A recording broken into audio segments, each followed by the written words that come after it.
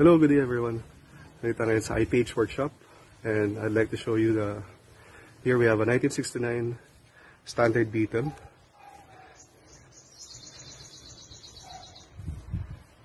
Pakita ko lang sa inyo, quick walkthrough.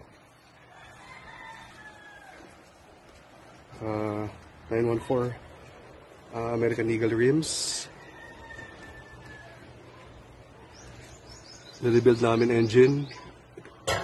Pinaka mataas na CC na na-rebuild namin.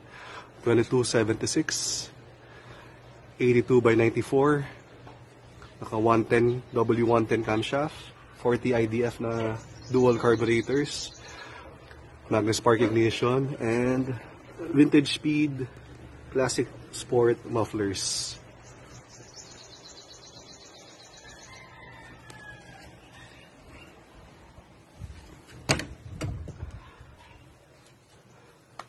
Naka-modified uh, gauges, Porsche 914 gauges. Everything working.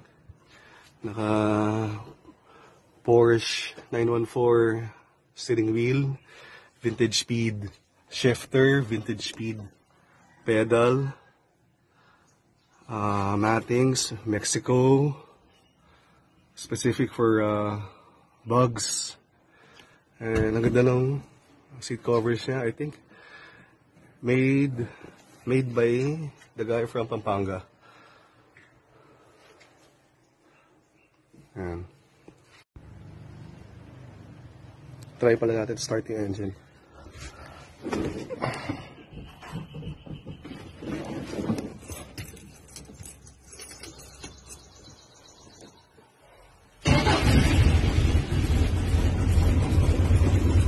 One click.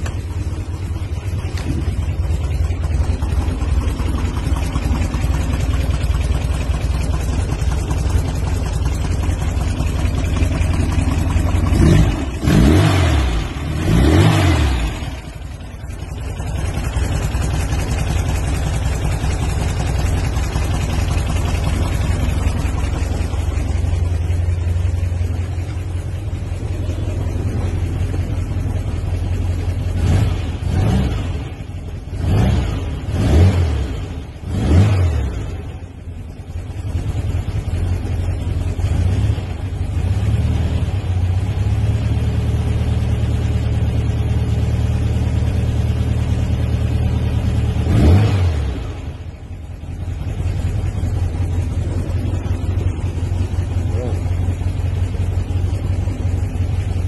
Off na natin. Alright.